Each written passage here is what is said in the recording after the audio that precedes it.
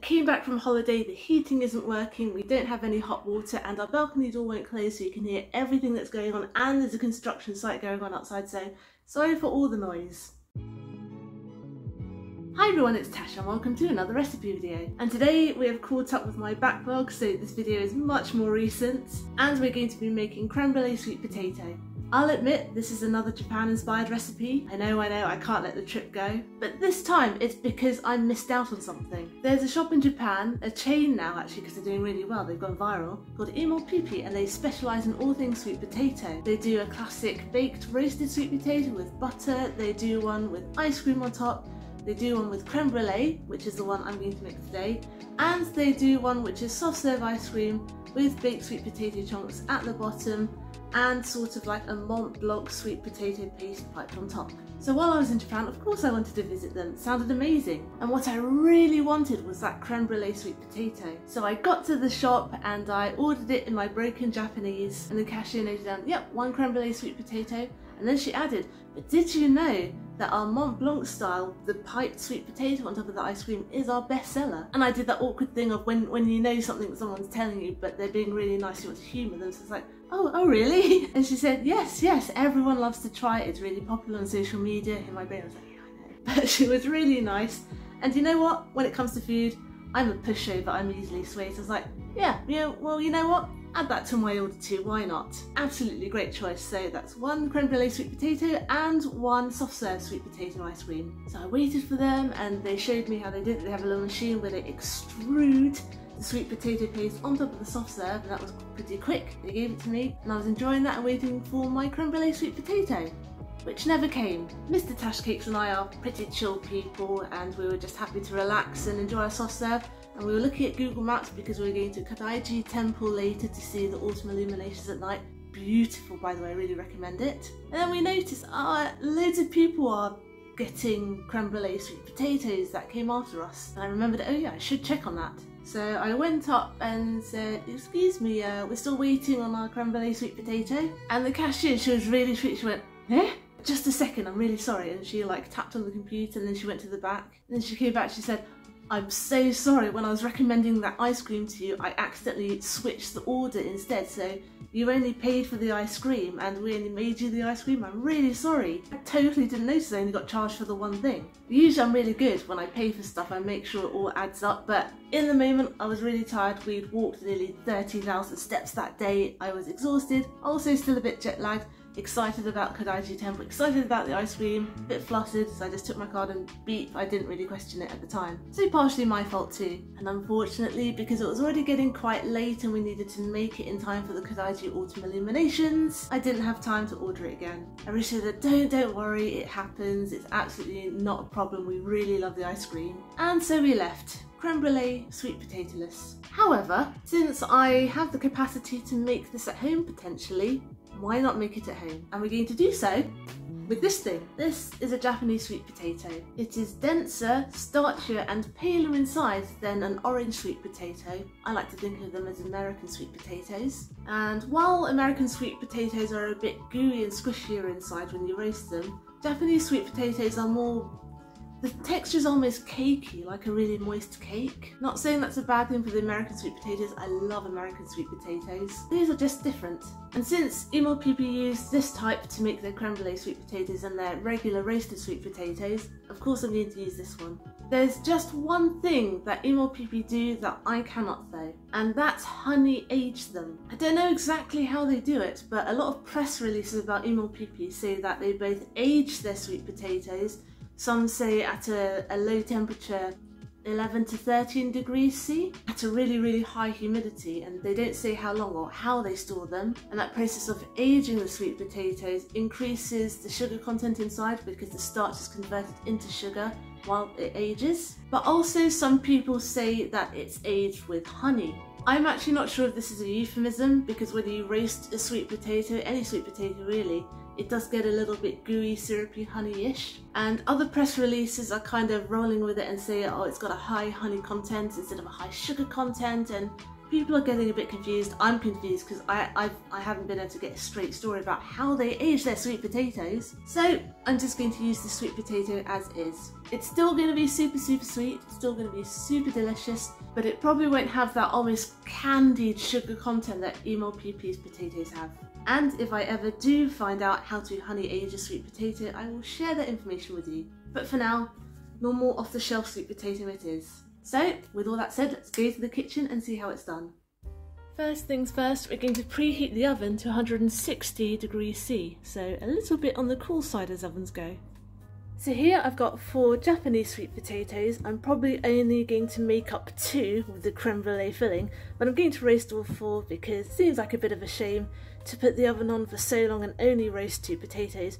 Plus they're very easy to reheat after, so um, yeah, I'm going to have two sweet potatoes, two roasted sweet potatoes as a snack for later. Or you can just make all of them and put all the creme brulee filling inside because we are going to make enough creme brulee filling for four, but I'm only going to make up two. Anyway, let's prepare all of them. Let's um, cut off these um, stringy bits at the end of some of these here. You don't have to do this, but I need mine to fit my little baking tray. I'll just do this one as well. That'll do.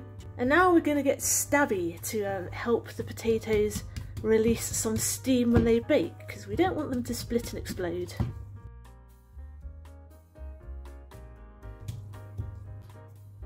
And all I've done is I've popped them on a foil lined baking tray. Now some people roast these just bare as they are, some people roast them in foil. I don't know which one's best so I'm going to roast half of them in foil and half of them naked.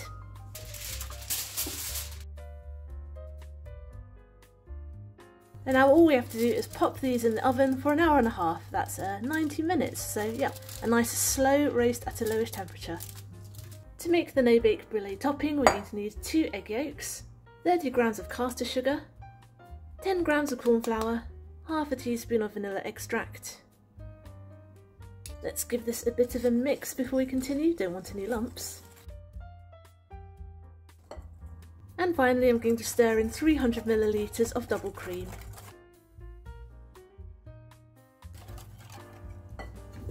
I'm just going to pour this into a small pan. I do have a small saucepan, but I'm currently using it for soup, so um, my little saucepan, my little frying pan rather, will do. As long as you have like a relatively deep small pan, it doesn't matter. Right, let's thicken this up on the stove. All I'm going to do is I'm going to pop the heat on low to medium and I'm going to keep stirring this until it's thickened and this is going to take just a few minutes, maybe 10 minutes, no more than that. By the way, don't do what I'm doing and use a metal utensil on a non-stick pan because that can scrape the bottom off, that non-stick stuff off. If you have a silicone coated whisk, then use that instead. But uh, yep, this is all I have at the moment, so I'm just being very careful not to scrape off that Teflon coating because that's quite bad. Now that it's just turning, I'm going to turn the heat right down because I don't want those egg yolks to scramble. Lift it off the heat a bit, give it a bit more of a stir. As you can see, we are just about there, just a little bit longer. Let's do two more minutes. Right, that will do. So let's switch this off, take this off the heat, and we're going to transfer this into a bowl. We're going to work relatively quickly here because this is hot cream, and hot cream and custard things form a skin when they cool down. And we want to avoid that skin, so um, we're going to flatten this out a little bit here and what we're going to do to avoid that skin is we're going to cover it with cling film and we're going to make sure the cling film sits on top of the actual custard. And uh, well, to be honest, it doesn't really stop the skin, it just makes it easier to lift that tough protein skin that forms as it cools down off of the custard when we take it off when it's cool, thus preventing an actual skin falling to bits and flaking off into your custard and making it not smooth. Right, so that part's done. We're just going to let this cool down to room temperature and um, it's a nice time to take a break because all we have to do is wait for this to cool and for our potatoes to bake. It's been an hour and a half, so I'm going to rescue our sweet potatoes and oh my goodness, they smell like caramel. Right, we're going to let these cool down for 5 to 10 minutes because they are red hot. I'm going to very carefully, because there's steam in here, unwrap these foil ones, otherwise they're just going to stay red hot And let's let these rest for 5 to 10 minutes because they are piping hot at the moment, too hot to handle. I'm going to use one of each type of potato. Here's one that we didn't wrap up. And here's one that we did. Oh, this one's juicy.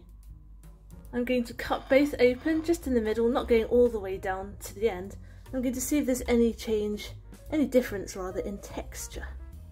Here we are, remember we're not slicing right down to the very bottom, we're just creating an opening. Wow, this one's very moist. Ah, like I said, it smells like caramel, it smells utterly divine. Now let's open this one. Skin's a little drier, skin's a bit like paper. Inside, ooh, inside is fluffy like cake. It's uh, less squishy moist than this one, a little drier, but not dry. Yeah, like cake. Now we've got our lovely creme brulee topping. Let's peel off the top so we won't have our skin. Get rid of that. And we're going to very generously spoon some right in the middle. Oh gosh, look at how luscious that is. Right in the middle. Remember this is enough for the four of the potatoes, but we're only going to do, whoops, we're only going to do two of them. Clean that up a bit, I'll clean up in a minute.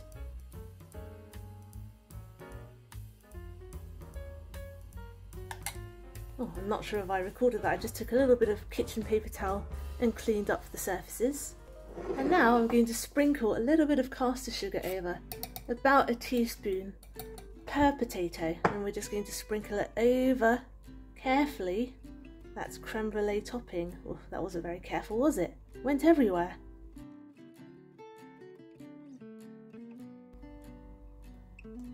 There we go, I hope you have a steadier hand than me. Now we're going to torch it. You can do this under the grill, but I have my handy cook's blowtorch.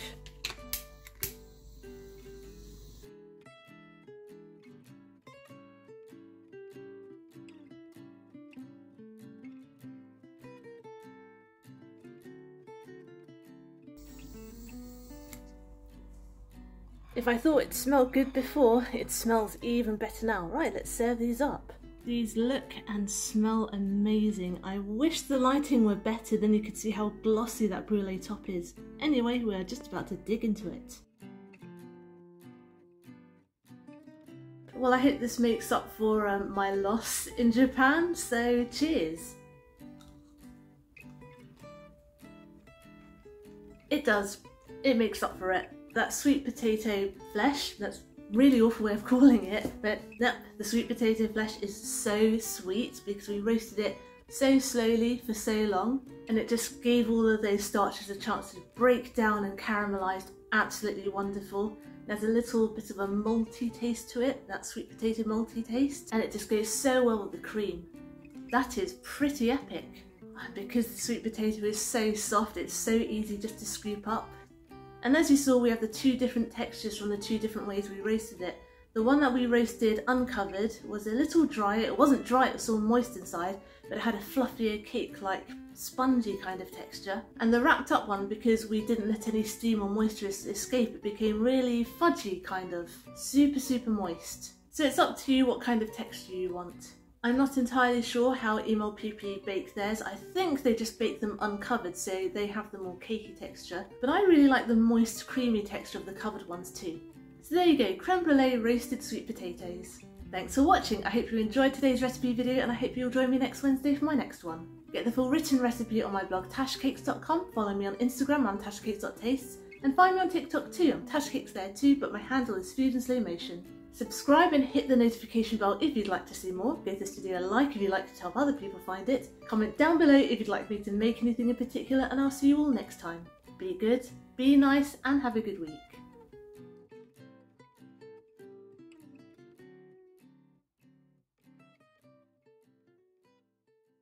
I'm resisting the urge to just eat the other one now.